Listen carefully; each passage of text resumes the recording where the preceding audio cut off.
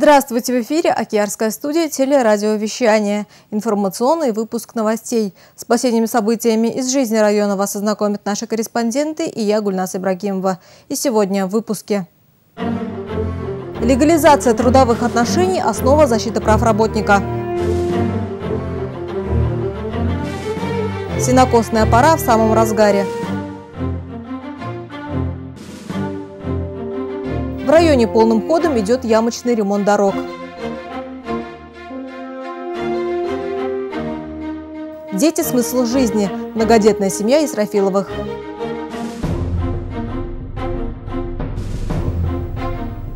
А теперь обо всем подробнее.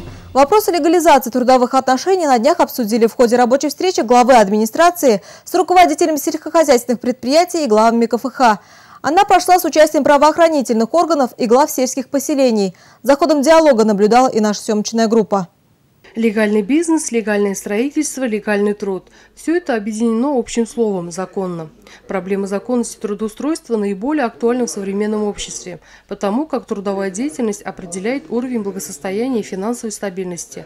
Особенно остро этот вопрос стоит в сфере агропромышленного комплекса.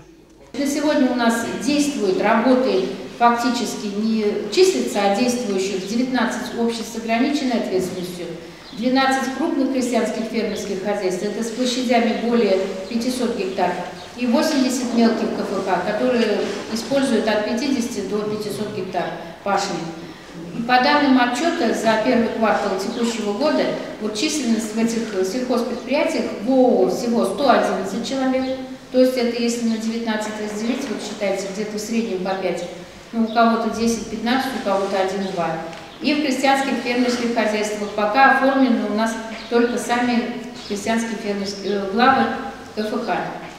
Э, фактически оформленных работающих у вас других оформленных трудовых отношений с, с вашими рабочими практически нет. Официально в соответствии с законодательством трудоустройства является гарантом социальной защищенности работника, в то время как иная форма отношений между работодателем и работником в виде конвертной схемы представляет серьезную угрозу для последнего в случае наступления различных страховых случаев.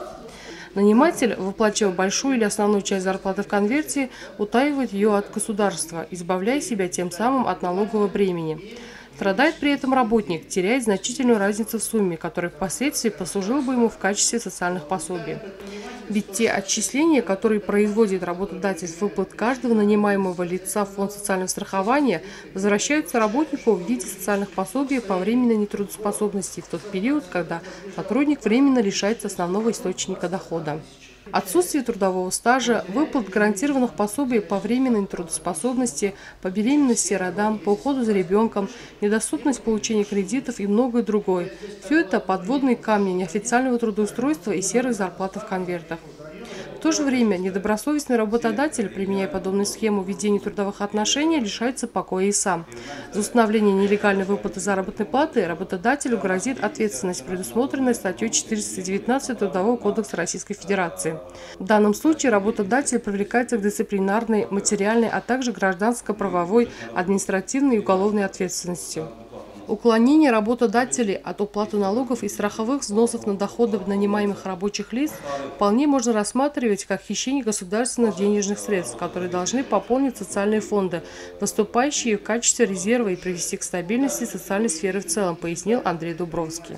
Из э, представивших 29 юридических лиц, то есть из 30, то есть из 41 юридического лица, 29 э, отчетность у нас представили, из 29 представили с нулевыми показателями, вот, то есть тоже считаем не работают. Исходя из их поступлений в бюджет, то есть получается 21 юридическое лицо, которое представило э, отчетность, налоговую отчетность, сумму доплате в бюджет, получается, что юридическое лицо в среднем в год заплатило, подлежало к уплате в 2014 году 21 тысяча. То есть, ну, в среднем возьмем 2 тысячи в месяц юридическое лицо, которое это насчитали себе, то есть в данном случае, а они уплатят бюджет. Вот эти суммы, которые у нас исчисляют э, сельхозтоваропроизводители уплате бюджета в части исчисления налогов. Это я вам говорю в общем все налоги, если собрать по ИПшнику, либо по юридическому лицу. То есть здесь как бы этот разговор, что налогами задушили, налогов много. Но просто можем пока смешно говорить. Сами руководители сельхозпредприятий в ходе встречи пояснили, что в сфере агропромышленного комплекса, где благосостояние предприятий тесно связано с климатическими условиями сезона и основная часть рабочих привлекается лишь временно, оформлять трудовые отношения невыгодно. Надо думать сперва, чтобы урожай был, чтобы налог платить, доход был, а вы какие-то там налоги спрашиваете. А если у нас, может, урожай не будет, даже больше не будет, откуда мы? Они работают у меня 10 дней, 15 дней. Напомним, что за последние три года была оказана помощь со стороны государства 187 хайбулинцам на сумму более 55 миллионов рублей. Большинство из них относится к сфере сельского хозяйства. Прокурор района пояснил, что по закону, вне зависимости от обстоятельств, работодатель обязан заключить трудовые отношения с работником. Перед нами ставят э, задачи ориентируют таким образом, чтобы вся наша деятельность, вся, все наши надзорные полномочия не были направлены на Э, прекращение деятельности хозяйственных субъектов. Идти и конкретно э, ставиться перед собой, чтобы прийти товарищу Гемину и выявить у него 10 человек, либо прийти к властника и выявить 40 человек. Вот. По информации, даже вот глава района говорит, что на семинаре э, властник говорит, что у него 40 человек работают, а вот я по информации, как у Галины Валентиновны смотрю, у него оформлено всего лишь 10 человек. То есть разница же есть, существенная разница. Но э, к нему, либо к другому работодателя специально идти и выявлять этих людей никто не собирается. Мы, во-первых, сегодняшняя задача разъяснить требования закона, предложить, а в-третьих, конечно, при выявлении будем спрашивать уже и наказывать, естественно. Именно легализация трудовых отношений является решительной мерой борьбы с теневой занятостью. Для решения проблемы неофициального трудоустройства и выплат серой зарплаты в районе создана межведомственная комиссия по вопросам легализации трудовых отношений. Главными задачами которой являются контроль выплаты заработной платы не ниже установленного уровня минимального размера оплаты труда, который на сегодняшний день составляет 7700 рублей.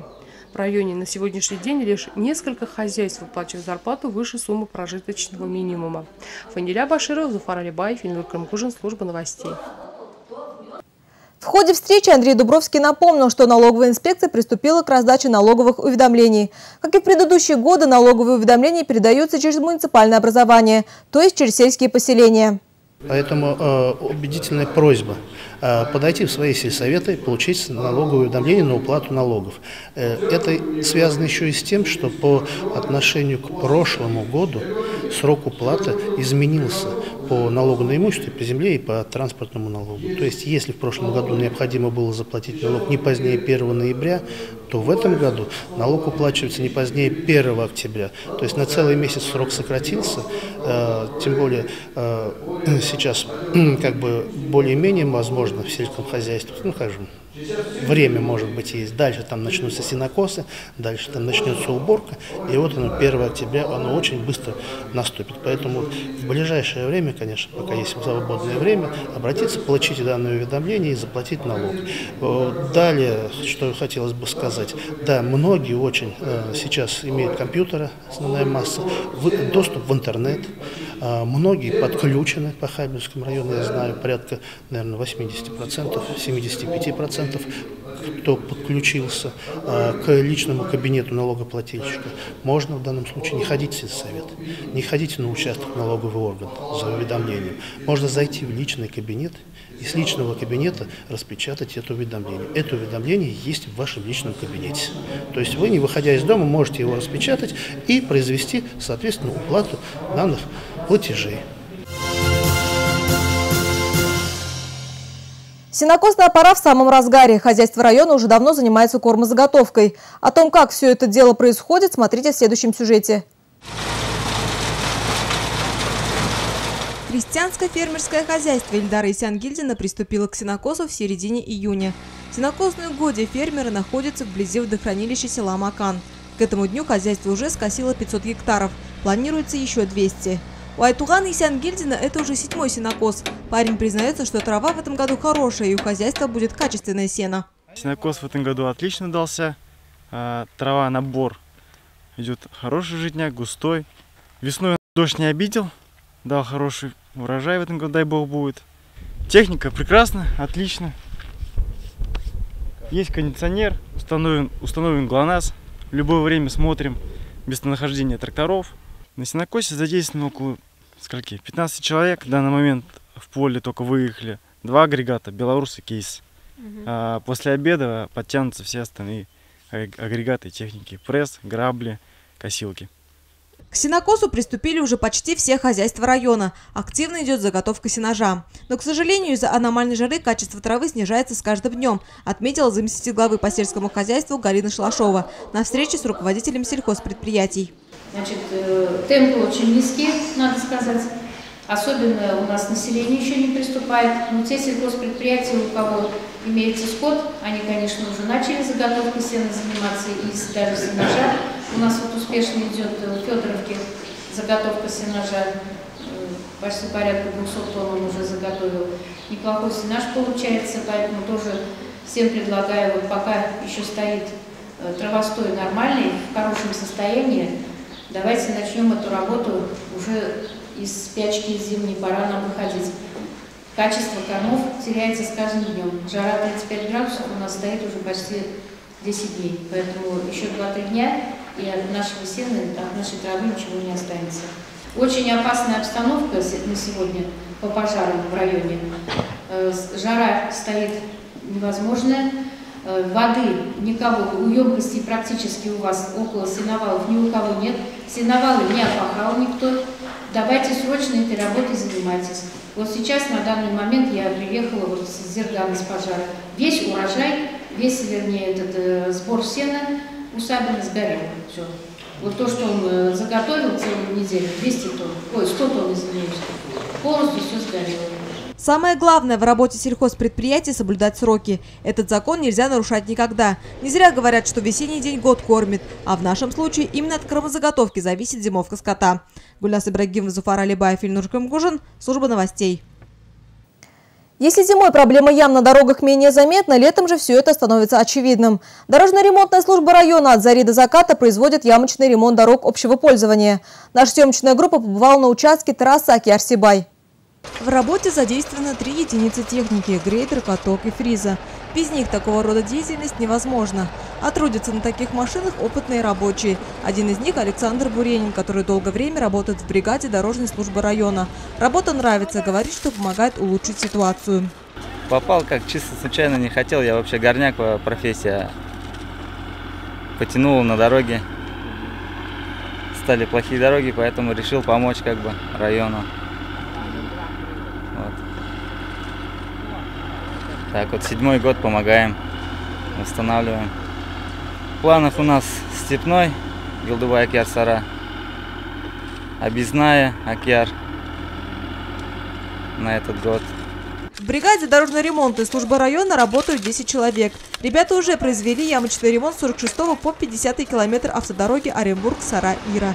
Также на трассе Аки-Арсибай проложили асфальт с 82 по 85 километр. Идет ремонт участка с 90 по 92 километры. Самое главное в такой работе, признаются ребята, знать технологию покрытия дороги асфальтом. ямды біз тазалап аламыз босып башларын бетон қойып соғып реттеп аламыз да сонан асфальт сала башлайбыз асфальтты аударып машинаны аударабыз да грейдермен тигізіп алабыз грейдермен мотор итеп тигізіп соны арттан катокмен катайтабыз сол анын артық бірінде қиынлығы жоқ бұл бұзылырға тиіс түгел. Уақ асфальт бұзыла ірі таштан ішләнгән бұзылмай За последние три года завершен ремонт автодороги Абдульнасырова и Сянгильдина, подъезд к деревне Юлбарсово, дороги Ивановка-Михайловка. Ведется ремонт дорог Алибаевская, Первомайская и Подольска-Новоукраинка. Одним словом, работа кипит, а дорожная служба района трудится на полную мощь. Гуляс Ибрагимов, Зуфар Алибаев, Ильнур Гужин, служба новостей. В апреле месяце многодетная Читай Сарафилова Хисила Макан победила в республиканском конкурсе творческих проектов «Мир дому моему». Это не простая семья, а интернациональная. Супруги Оксаны и Заки Сарафиловы воспитывают восьмерых детей. Четверо из них приемные. Однако родительской любви хватает на всех. Сегодня к обеденному столу мама Оксана приготовила татарское национальное блюдо чак-чак, так как дети его особенно любят. Помощником в любом деле является приемный сын Денис, который живет в семье уже 8 лет. Денис окончил шестой класс, любит животных, помогает родителям, младшим братьям и сестрам. У мальчика есть заветная мечта – помогать людям. Именно поэтому он мечтает стать спасателем.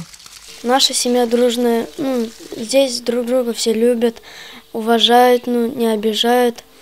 Мы, мы делаем все вместе и ну, друг другу помогаем, когда ну там что-нибудь э, вместе кормим там, ну это помогаем. Угу. Мы помогаем мам, маме, папе, на синокос ездим, убираемся дома. Я хочу стать МЧС спасателем. Читай Срафиловых в этом году встретила серебряную свадьбу. За это время супруги Закир Раисович и Оксана Владимировна построили большой просторный дом, родили четверых детей. Однако полноценной семья стала лишь после того, как взяла на воспитание двух братьев – Ивана и Дениса, а после еще двух девочек – Веронику и Алину. С тех самых пор в этом доме никогда не звучат такие слова, как «свой» и «чужой». Супруги твердят в один голос – все это богатство наше. Силу мне дают в этом дети – Дети заряд какой-то дают такой, что жить охота, охота что-то делать, что-то новое покупать, менять. Я воспитывалась э, у бабушек одна в семье, и я всегда хотела, чтобы у меня была большая семья. Я рада, что у меня много детей, что есть у меня внук, муж, дети, все хозяйство. Я желаю всем, чтобы у всех была такая семья, как у нас. Отличительной чертой многодетной семьи Исрафиловых является трудолюбие. Девочки с мамой делают самодельные резинки для волос, мягкие игрушки, шьют, вяжут, готовят домашнюю лапшу на продажу, а мальчишки с папой возятся с техникой, ремонтируют трактор, машину, занимаются хозяйством. Семья держит коров, кур, гусей, выращивает огород. Закир Раисович занялся крестьянско-фермерским хозяйством. В этом деле его правая рука – старший приемный сын Иван. Я воспитывался в многодетной семье. Нас было две сестры, четыре брата. И вот мне очень нравится, что семья была многодетной, как бы воспитывались. И нам тоже охота было. Не было мальчиков, вот мы взяли мальчиков. Мы, я очень рад, что вот есть у нас вот Денис, Ванька, вот Эмиль у нас родился. Ванька у меня как правая рука везде со мной, где я не успеваю, он тут как тут. И на тракторе, и накосит сами, и согребут, и сдвинут сено. И не успеваю, и погрузят, привозят домой сами, и воду возят. Нет ничего дороже, лучше и желания в этом мире, чем дети. Именно они приносят в нашу жизнь радость, счастье, полноту, гармонию. Они учат нас жизненной мудрости, дарят нам смысл в жизни, питают нас силой и энергией, говорят в один голос супруги Сарафиловы. Приемные дети – это масса чувств, разных, как мольберт художника. Здесь от темных красок непослушания, упрямства, неряшливости до светлых и ярких – счастья, радости, удовольствия, реализованности. Так, Вероника, ты давай браслет делай. Алина, ты резиночку делай, клей, бусинки. Сабина, а ты цветочек сделала резиночку. Только аккуратно делать. А я буду делать куклу. Берем полторушку, обтягиваем ватином, одеваем капроновые колготки. Одели. Мы сейчас будем лицо делать кукле. К сожалению, проблема сиротства в нашей стране – серьезная проблема. Число детей, оставшихся без родителей, постоянно растет. Однако есть люди, которые широтой своей души, глубиной своего сердца принимают приемных детей как своих. Именно такая семья Исрафиловых. Все они делают вместе, всегда поддерживают друг друга. Может быть, именно поэтому все дети как один твердят, что они рады, что у них большая и дружная семья. Мы друг другу помогаем, друг друга не обижаем. Все у нас хорошие. Мы маме во всем помогаем. Я рада, что у меня появились сестренки. Теперь мне не скучно поиграть с кем-нибудь можно. Побегать, по, э, порисовать, попеть.